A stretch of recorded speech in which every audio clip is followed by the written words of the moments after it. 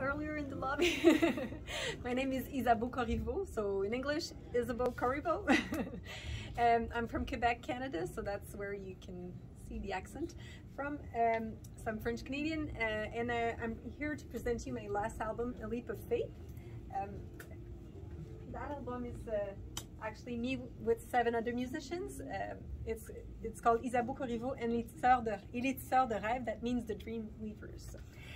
So uh, it's harp, cello, violin, guitar, bass guitar, two percussionists, and another singer. So some pieces are sung, some are instrumental. Uh, we'll start with one that is, is sang. I will do the number, I think it's number six, uh, Blackbird. It's all based on Celtic music, but I definitely, we definitely make make it our own arrangement. So, you know, we add like a little bit more modern sound into it, but not too crazy also in the same time. But uh, yeah, what is really nice about that kind of music is you can, um, it's a bit like the jazz, you know, you can uh, add some notes, transform the rhythmic, sometimes change the harmony, sometimes add some sections as well. So it's what I like to do with that kind of music. And uh, it's what we're gonna hear with the first piece, it's called Blackbird.